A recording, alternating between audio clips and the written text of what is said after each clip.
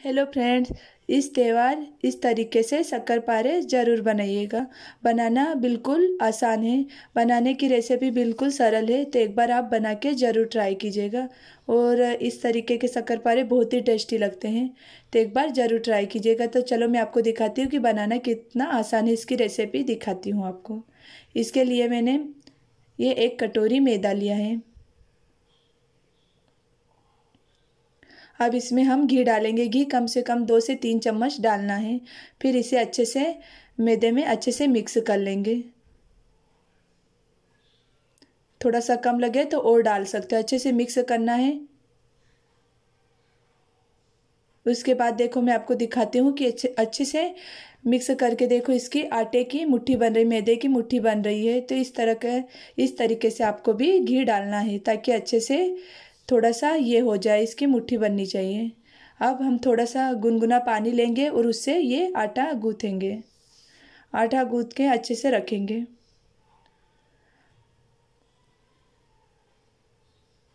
आटा ज़्यादा गाढ़ा भी नहीं रखना है और ज़्यादा पतला भी नहीं रखना है।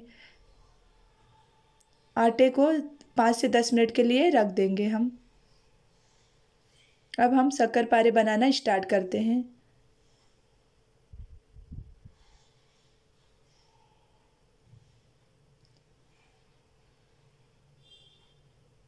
अब हम इसे अच्छे से बेल लेंगे। आप चाहो तो नीचे घी लगा सकते हो। मैंने घी भी नहीं लगाया है। आटा अच्छे से लगा के रखेंगे तो घी भी लगाने की ज़रूरत नहीं पड़ेगी। अब इसे अच्छे से बेल लेंगे। ज़्यादा पतला नहीं बेलना है। और फिर इसे हम कट कर लेंगे अच्छे से। आप जैसा शेप चाहो वैसे शेप में काट सकते हो। मैं थोड़े लंबे शेप में काटूँगी। आपको लगे चौकोर शेप में भी काट सकते हो।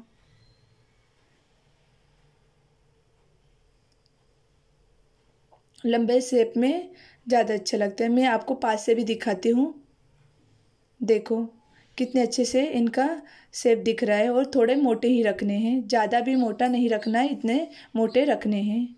अब इस तरीके मैंने सारे शक्कर कट करके रख लिए हैं। अब हम इन्हें फ्राई करेंगे।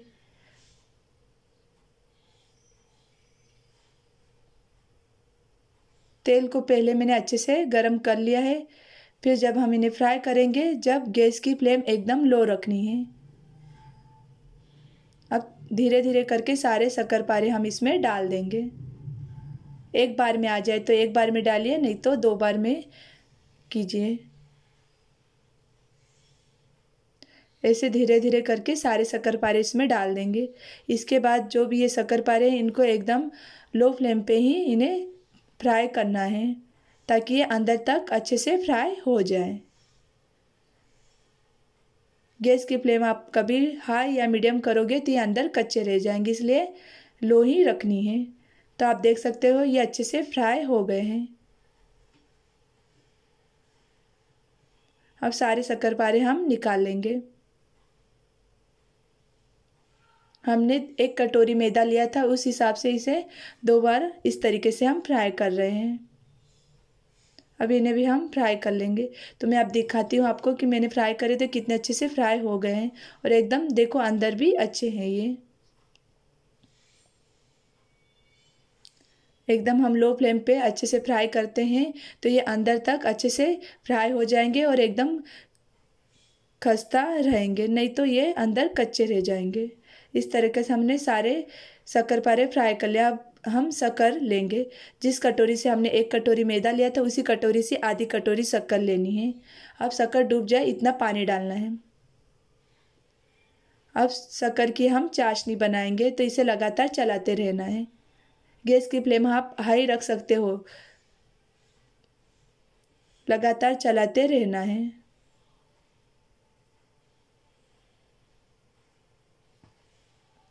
अब इसमें झाग आ गया है। थोड़ी देर और चलाते रहेंगे, उसके बाद हम ये शक्कर पारे, सारे शक्कर पारे इसमें डाल देंगे। ज़्यादा देर नहीं, शक्कर को होने थोड़ी चाशनी मोटी हो जाए, उसके बाद सारे शक्कर पारे डाल देने हैं। वापस शक्कर नहीं बनने लग जाए, उसके पहले ही हमें डालना है। शक्कर पारे डालने के बाद गैस की फ्लेम हमें एकदम लो कर लेनी है। उसके बाद लगातार चलाते रहना है।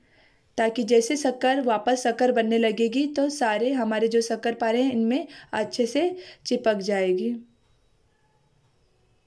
और एकदम लो फ्लेम पे करेंगे तो हमारी जो शक्कर की चाशनी है, वो थोड़ी अंदर तक शक्कर पारों में जाएगी।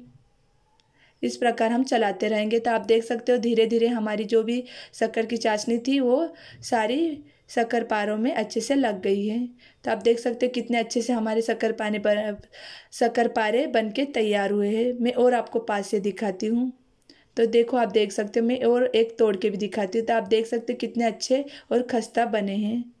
तो एक बार आप इस तरीके से शक्कर पारे बना के ज़रूर ट्राई कीजिएगा। बनाना बिल्कुल सरल है।